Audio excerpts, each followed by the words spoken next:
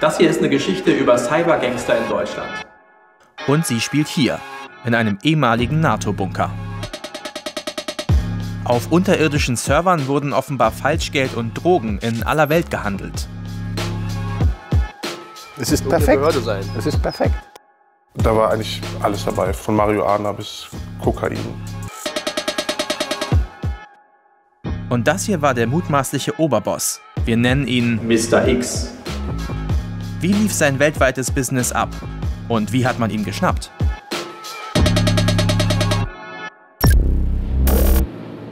Das hier ist die Geschichte von mutmaßlichen Cybergangstern, die hier beginnt, in Rheinland-Pfalz. Wir sind jetzt hier gerade ähm, in Traben-Trabach, wir sind gerade angekommen, ähm, ein kleines idyllisches Moselörtchen. Und das Krasse ist, dass hier ähm, eines der größten ja, Internetverbrechen äh, äh, der deutschen Geschichte, kann man vielleicht sogar sagen, ähm, passiert ist. Und das gucken wir uns jetzt mal genauer an, wo das hier alles passiert sein soll. Nämlich in einem Bunker irgendwo hier in den Bergen.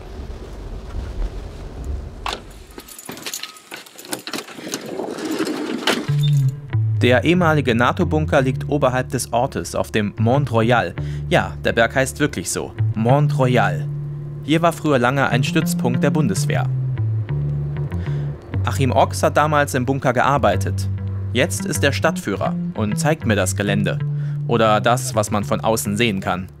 Vielleicht können Sie mir mal zeigen. Also, der Bunker ist da hinten, ja? Ja, äh, da wo die Kiefer rausguckt, wo der grüne Baum ist, dieser Hügel. Ja. Man sieht rechts so einen Kasten. Von der Antenne, neben der kleinen Antenne. Ich bin so klein, ein aber ich Kasten. glaube, ich kann es Da ist so ein. Kasten. Ja. ja, schade, dass man den Bunker gar nicht sieht. Man redet die ganze Zeit über dieses Phantom-Bunker und eigentlich sieht man hier nur so eine Straße, Ja. so eine Einfahrt mit einer Schranke. Das könnte jetzt auch irgendwie, weiß ich nicht, Es ist irgendeine perfekt. Behörde sein. Es ist perfekt. Haben eine gute Wahl getroffen, die Verbrecher da. Hier spielte sich wohl einer der größten Cybercrime-Fälle Deutschlands ab. Im Bunker, unter der Erde. Gemeinsam mit einem Team vom Spiegel haben wir tausende Seiten aus den Ermittlungen zum Fall gesichtet. Es geht um illegale Geschäfte im Darknet, um Falschgeld, Drogen und Kinderpornografie. Alles lief offenbar über Server in diesem Bunker. Bis die mutmaßlichen Cybergangster vergangenes Jahr geschnappt wurden. Oh, da fahren sie gerade ein dickes Auto raus.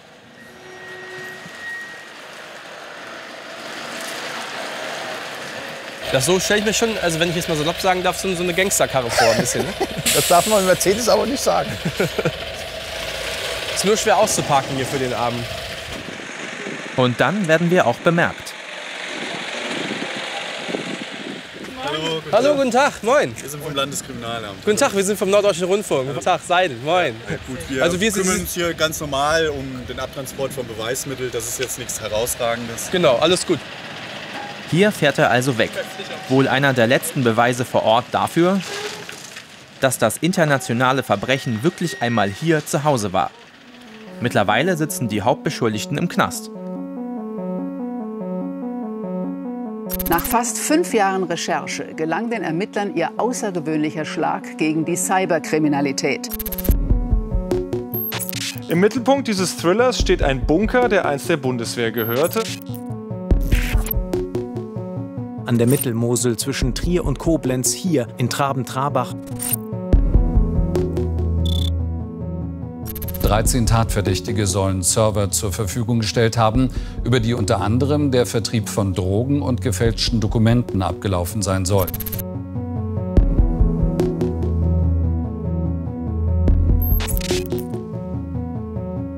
Traben-Trabach in Rheinland-Pfalz. Kennt man eigentlich eher für guten Weißwein, nicht so für Cyberkriminalität. 2013 tauchen hier plötzlich Fremde auf und kaufen den alten Bunker. In der Stadt heißt es, da soll ein Datenzentrum entstehen, neue Arbeitsplätze. Nichts Ungewöhnliches. Guten Morgen. Wir machen einen Film über den Bunker, den Cyberbunker da oben auf Montreal. Wir haben das eigentlich immer nur in der Zeitung mitbekommen. Vorher gar nichts. Wer weiß, was die da an den Servern machen. Ne, das ist nicht normal, da dringt nichts an die Außenwelt, aber gewusst hat da keiner was. Hallo.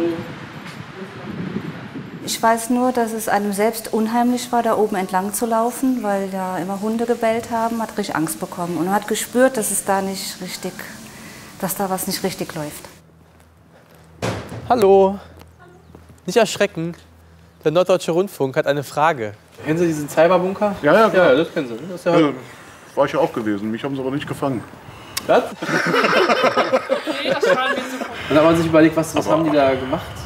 Warum Man war hat schon spekuliert, irgendwie mal, was, was passiert da, was machen die da, aber hat er nichts mitgekriegt. Was war die Spekulation? Ja, es hieß halt eben, weil es ein Holländer ist, der macht da, hat da bestimmt eine große Zucht, so, was man halt eben an den komischen. Pflanzen. Ja, genau, ja, genau sowas.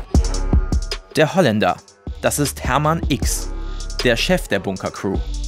Eine Cannabisplantage hatte er zwar nicht, aber offenbar viele illegale Seiten auf seinen Servern. Was er davon wusste, will ich wissen. Weil er in U-Haft sitzt, schicke ich ihm Fragen in den Knast. Doch dazu später mehr. Und er hat Mr. X mehr als vier Jahre gejagt. Oberstaatsanwalt Jörg Angerer, Chef einer Cybercrime-Spezialeinheit. Ich besuche ihn in Koblenz. Was war Herr X denn? Was ist Herr X für ein Typ? Das ist schwierig. Der Herr X ist ein IT-Freund, Besessener, wie man es nennen will. Ich glaube, er hat sehr viel gearbeitet und sehr viel äh, Elan in die Sache gesteckt. Nicht nur aus finanziellen Gründen, sondern er ist mit, Herz, mit Leib und Seele IT-Mensch. Warum ist ein Bunker für Herrn X wahrscheinlich das, die erste Wahl für sein Geschäft? Weil Bunker äh, Sicherheit suggerieren und damit kann man werben im Geschäft und er steht einfach auf Bunker. Warum eigentlich? Weiß ich nicht. Er hat Anklage gegen Mr. X und seine Crew erhoben, unter anderem wegen Bildung einer kriminellen Vereinigung und Beihilfe zum Drogenhandel. Die Entscheidung des Gerichts dazu steht noch aus. Das Besondere an dem Verfahren ist, dass wir nicht gegen die eigentlichen ähm, Täter, also Drogenhändler beispielsweise im Netz vorgehen, sondern erstmals gegen die Hoster, also die, die diese Dienste hosten und die Taten der Haupttäter erst möglich machen. Mr. X und seine Bunker-Crew waren offenbar solche Hoster. Sogar Bulletproof werben sie. Bulletproof. Das heißt, da kommt die Polizei nicht dran. Wer hier seine Website hat, bleibt anonym, so das Versprechen. Wir hosten alles außer Kinderpornos und Terrorismus. Das Betreiben eines Bulletproof-Hauses, das ist für sich nicht strafbar. Das machte die Ermittlungen ja so schwierig. Also ich muss eine konkrete Tat ermitteln, die im Bunker begangen wird, beispielsweise einen Drogenmarkt, und muss dann den Beschuldigten belegen, dass sie das A wussten und B auch wissentlich und wollentlich unterstützt haben. 2013 kauft Mr. X den Bunker und stellt ein Team zusammen. Rund ein Dutzend Mitarbeiter und Mitarbeiterinnen, insbesondere IT-Spezialisten. Rund um den Bunker kommen sogar Wachhunde zum Einsatz.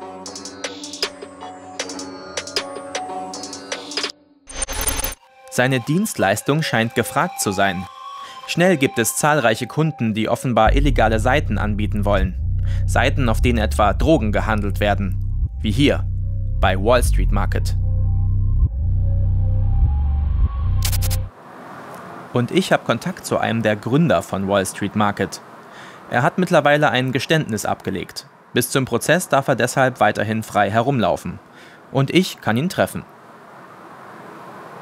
Alright, ich habe gerade die SMS bekommen. Hallo Herr Seidel, ich wäre jetzt fertig und fahre zu der Adresse. Ähm, wir treffen jetzt Herrn F. Herr F. ist einer der Administratoren von Wall Street Market, dem, ja, weiß ich gar nicht, zweitgrößten Darknet-Drogenmarkt der Welt. Herr F. gibt mir ein verdecktes Interview. Mit 14 ist er schon im Darknet unterwegs, lernt dort auch die zwei kennen, mit denen er dann Wall Street Market aufbauen wird.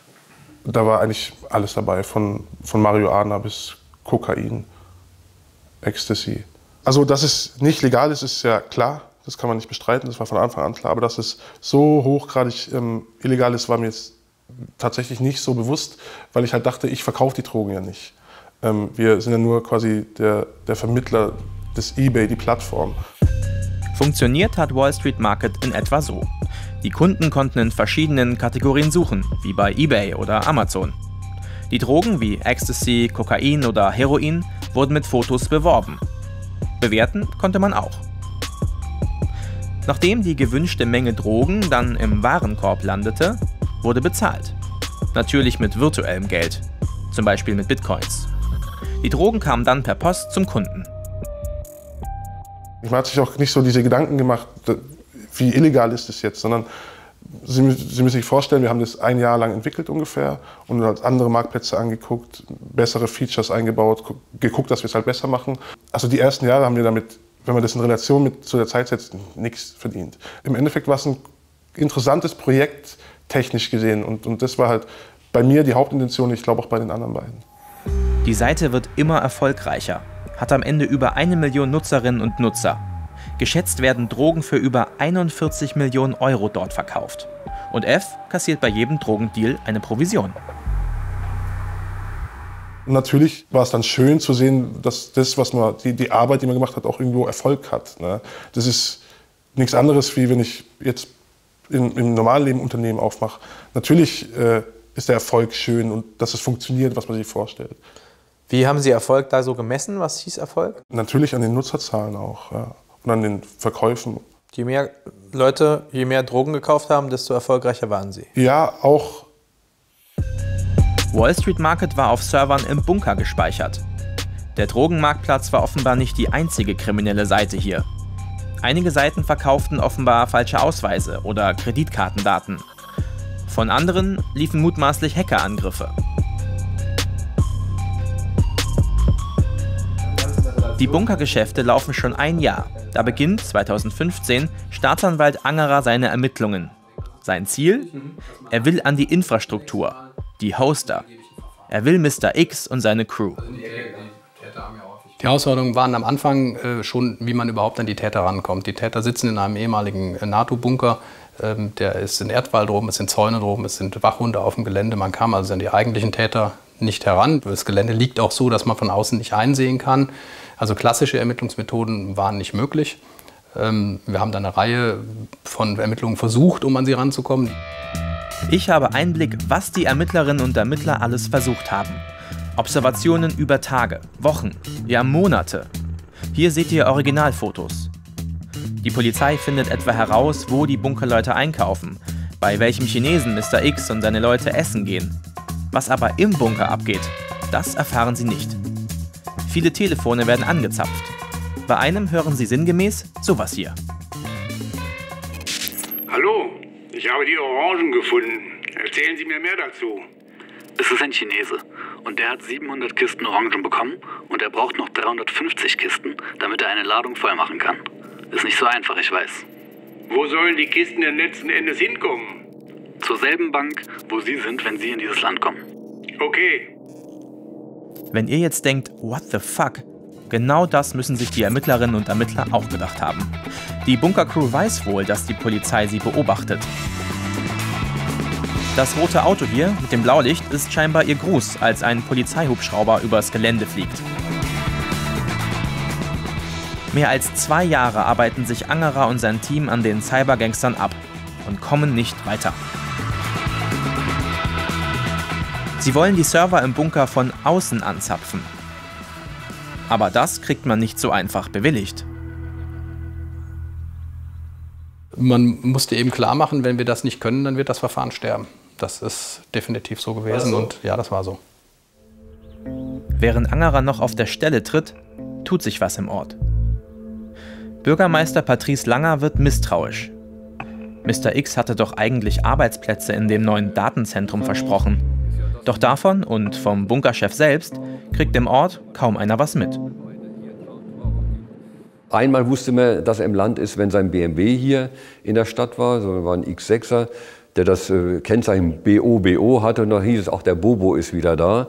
Und dann, wenn er durch die Stadt ging, wie geschildert eben mit seinem wallenden Haupthaar und seinem ja, wallenden Trenchcoat, im gewissen Abstand war da noch so ein Atlatus hinter ihm, ob es der Hausmeister war, keine Ahnung. Das war, sah schon ein bisschen merkwürdig aus für Trabentraber. Das sah so aus, wie wenn jemand mit seinem Bodyguard durch die Stadt geht. Ne?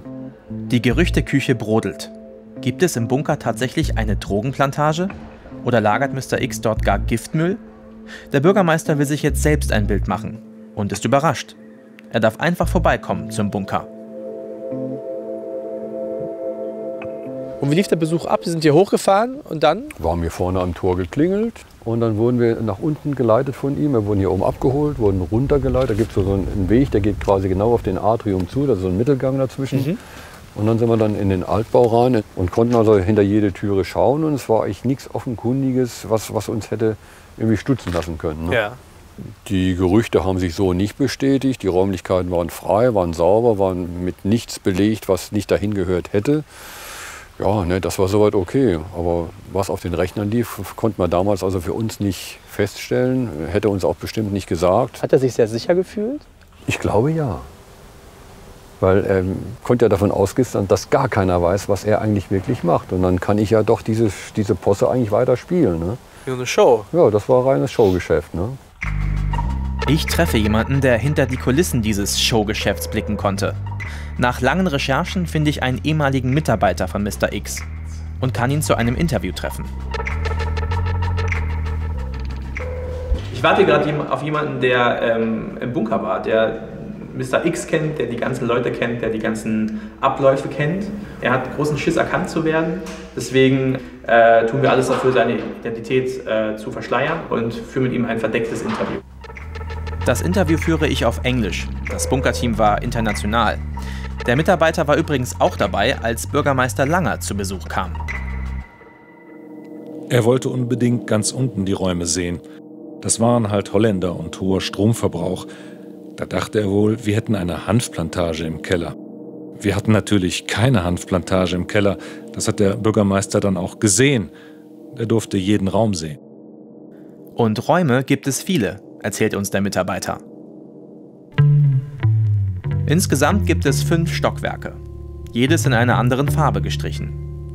Die Truppe wohnt in der ersten Etage. Es gibt eine Bunkerküche und Schlafzimmer. Mr. X hat in seinem diese lebensgroße Actionfigur stehen. Die Wände und die Decke hat Mr. X dort schwarz gestrichen. Auf der zweiten Etage liegen Büros. In der dritten Etage das Wichtigste, die Serverräume. Die vierte und fünfte Etage wurde quasi nicht genutzt. Aber was wusste unser Interviewpartner über das, was auf den Servern gehostet wurde? Wusste er, was da Illegales abging? Ich kann auf einen verschlüsselten Server nicht draufgucken. Die Kunden konnten den Server einfach mieten, ohne zu sagen, was sie damit machen. Sie müssen sich das vorstellen wie ein Haus, das man vermietet. Da weiß man ja auch nicht, was der Mieter darin macht. Fühlen Sie sich schuldig? Also ich mache mir da keine großen Vorwürfe. Ich habe auch mit einigen anderen Mitarbeitern gesprochen, die denken da ähnlich. Die wussten davon auch nichts. X war eigentlich der Einzige, der da Kunden raufgelotst hat. Hermann X traf seine Geschäftspartner in Traben-Trabach anscheinend ganz offen. 2015 geht er zum Beispiel spazieren mit einem angeblichen irischen Mafia-Boss. Der wird der Pinguin genannt. Wegen seines Watschelgangs. Hier, der rechte.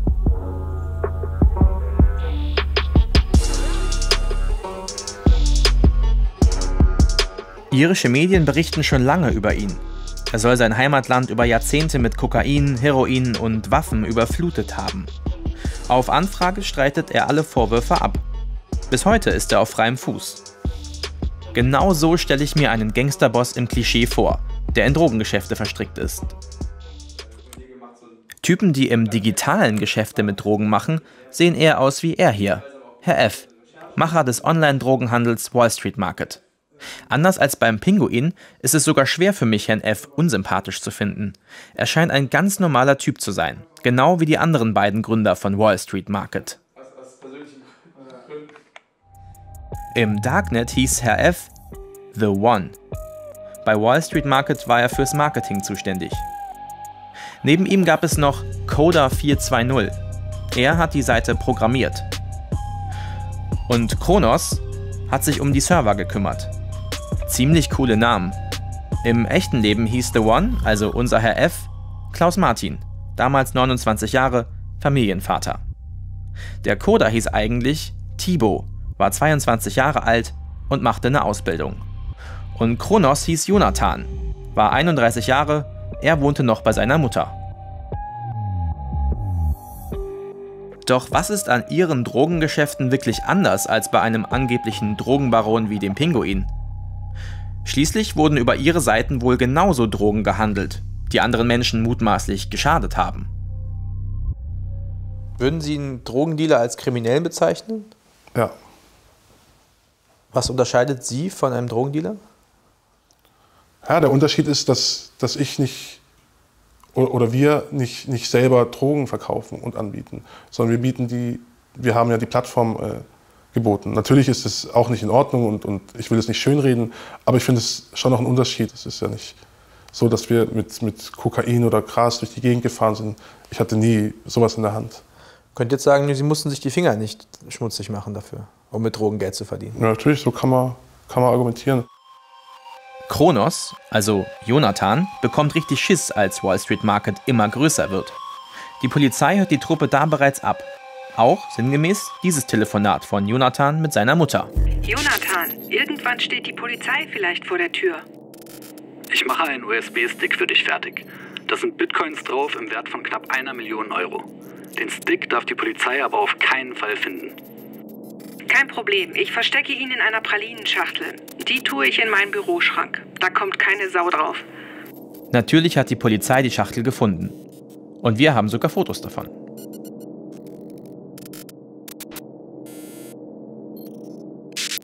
Auch die anderen beiden haben Angst aufzufliegen. Von einem auf den anderen Tag räumen sie alle Bitcoins ab, die noch auf der Seite liegen. Für jeden rund 4,5 Millionen Euro. Am Ende haben sie aber nichts davon.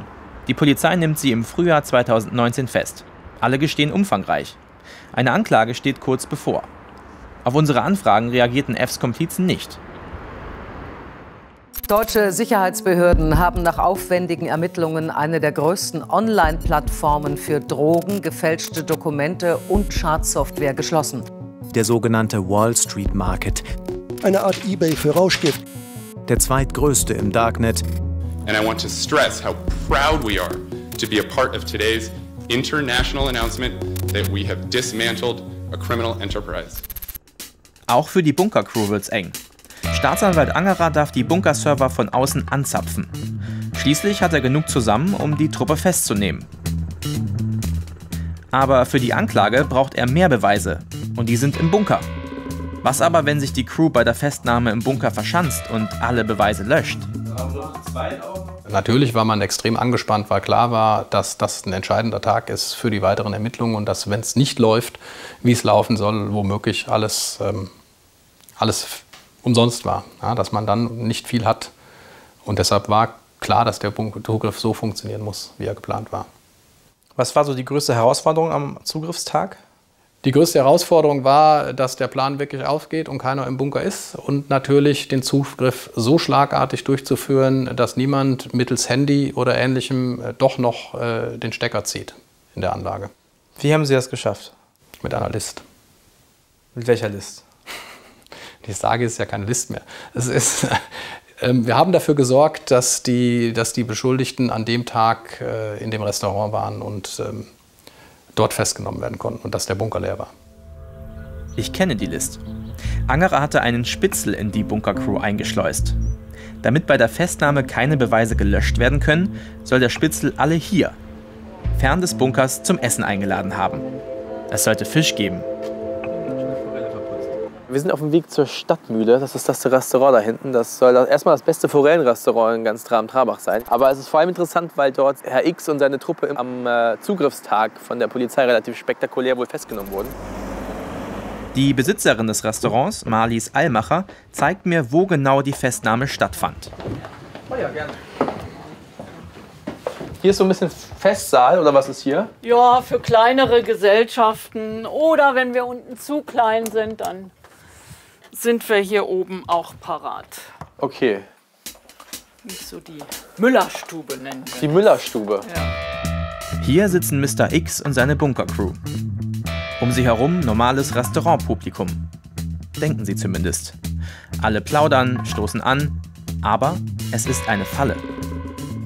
Die Gäste am Nachbartisch sind Polizistinnen und Polizisten in Zivil. Ein ganz normaler Tag. Ein ganz normaler Tag. Gäste hatten bestellt, ihr Essen bekommen. Naja, irgendwie auf Kommando. Auf einmal stürmte hier ganz viel, was ich im Nachhinein erst weiß, Polizei rein. Ich habe zuerst an einen Junggesellenabschied gedacht, als dann so viele maskierte äh, junge Leute hier reinstürmten, habe ich gedacht, ach, da ist irgendeine Feier noch. Ist was los? Ja. Während hier Mr. X und seine Gruppe in Handschellen abgeführt werden, stürmt die GSG 9 den Bunker. Rund 650 Polizisten sind beteiligt. Um reinzukommen, hatten sie sich angeblich auch auf eine Sprengung vorbereitet. Doch die Bunkertür war nur mit einem kleinen Vorhängeschloss gesichert. Am Ende von über vier Jahren Ermittlungen öffnet sich am 26. September 2019 für die Beamten die Bunkertür.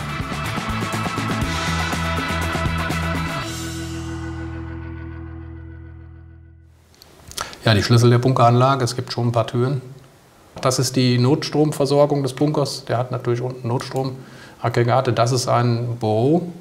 Okay, das ist also so sah es im Bunker aus. So sah es in der Anlage unten aus. Zum Teil, Sie sehen ja, die Verkabelung ist jetzt nicht das, was man sich unter einer professionellen Anlage vorstellen würde. Ich kenne mich da nicht so gut aus wie Sie. Ist Also man so? verlegt Kabel normalerweise so, dass man die auch wiederfindet. Und äh, wenn was kaputt ist, nicht es tauschen kann. Das ist hier wohl eher nicht der Fall. Ähm, man hat die einfach wild gelegt. Die Ermittlerinnen und Ermittler finden im Bunker Schaltschränke mit rund 400 Servern und können Daten auslesen. Der Jackpot für Angerer. Sichergestellt im Bunker haben wir ähm, etwas über 2 Petabyte. Das sind äh, über 2 Millionen Gigabyte Daten, die auf den Servern gespeichert sind. Sie haben jetzt im Nachhinein auf die Server geguckt? Ja. Und wie viele legale Seiten gefunden? Keine. Und deswegen schließen Sie darauf, Also wenn jemand ausschließlich kriminelle Seiten betreibt, dann halte ich das für äh, keinen Zufall. Zur Erinnerung, und wenn es noch so viele illegale Seiten im Bunker sind, das Hosten alleine ist in Deutschland nicht strafbar. Angerer sagt, für einige Webseiten könne er beweisen, dass Mr. X und Teile seiner Crew wussten, was dort ablief. Doch was sagt Mr. X selbst dazu? Wir haben ihm einen Brief in den Knast geschickt und er hat tatsächlich geantwortet. Jetzt ähm, drei, vier Seiten. Das ist zum Teil, das ist nicht seine Schrift, das hat ein Zellennachbar geschrieben, das hat er ihm diktiert. Und ein paar Sachen hat er auch selber handschriftlich beantwortet. Und er schreibt hier, meine Server müssen Sie mit Bankschließfächern vergleichen. Also er argumentiert jetzt, dass eine Bank auch nicht weiß, was da drin ist und so wusste er auch als Serverbetreiber nicht, was auf den Servern lief. Okay, ist ja interessant mit den Bankschließfächern. Ich frage mich halt, wie glaubwürdig das Ganze ist. Mr. X schreibt, sie glaubten, legal und korrekt gehandelt zu haben. Ich habe ihn gefragt, Herr X, was passiert eigentlich jetzt mit Ihrem Bunker? Er sitzt ja gerade im Knast und er schreibt ganz trocken, sobald wir frei sind, gehen wir wieder rein. Das nenne ich mal eine selbstbewusste Antwort. Es ist noch nicht klar, wann Mr. X und seine Bunkercrew vor Gericht müssen. Eine der größten Cybercrime-Geschichten Deutschlands ist also noch nicht vorbei. Wer ist am Ende eigentlich verantwortlich? Nur die Drogendealer, die die Drogen direkt verkaufen? Oder auch Typen wie Mr. X oder The One, die mit ihren Seiten die Infrastruktur für sowas schaffen? Wenn ich meine Recherchen so zusammenfasse und überlege, was ich so gelernt habe, dann würde ich sagen, diese neuen Täter haben eins gemeinsam. Sie fühlen sich überhaupt nicht schuldig. Die sagen, wir haben nur die Technik gemacht, die Infrastruktur geschaffen. Diese bösen Sachen, Drogen verkaufen, das waren die anderen. Als hätte das eine mit dem anderen gar nichts zu tun. Wie seht ihr das denn? Kann man Mr. X und The One für das, was auf ihrer Website und in ihrem Bunker war, verantwortlich machen? Schreibt uns das gerne hier in die Kommentare und abonniert uns gern. Und wenn ihr Bock auf noch einen Film habt, meine Kollegin Svea hat einen ziemlich coolen Film zu gekauften Likes im Internet gemacht. Und die Kolleginnen und Kollegen von Y-Kollektiv haben ein ganzes Jahr lang recherchiert zum Thema Infokrieg im Netz.